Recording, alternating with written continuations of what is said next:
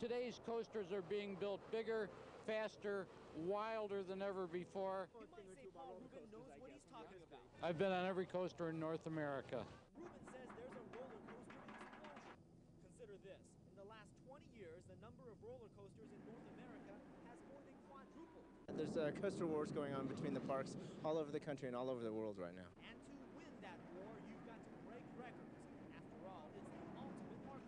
Every park likes to have the bragging rights to having the biggest, fastest, most unusual roller coaster. Anybody wants to go out and say, hey, I just rode the tallest, fastest roller coaster on earth. You can get both with Six Flags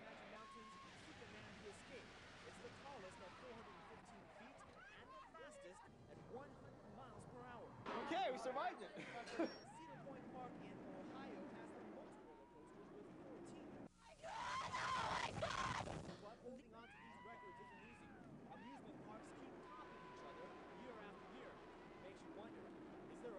the technology is here today uh, to build a coaster of any height. As far as I've been concerned, they can fly me to the moon and drop me back to Earth. Will that happen, you think?